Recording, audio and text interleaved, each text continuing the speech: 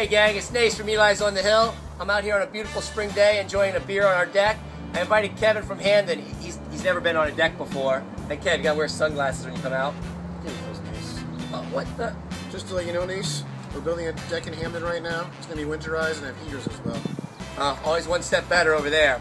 But hey, this weekend at Eli's on the Hill and Eli's on Whitney, we are celebrating National Pretzel Weekend. We're gonna have some great specials with beers, pretzel sticks, and other great things happening us around us. By the way, Kev, what do you know about pretzels anyway? Actually, Nace, pretzels were invented in the 1500s by the Trappist monk. All right, Kev, keep quiet. Hey guys, be here. Join us this weekend at Eli's on the Hill. Enjoy some great pretzel sticks, great specials. We'll see you then. Good pretzels. Thanks, Kev. I'll see you around.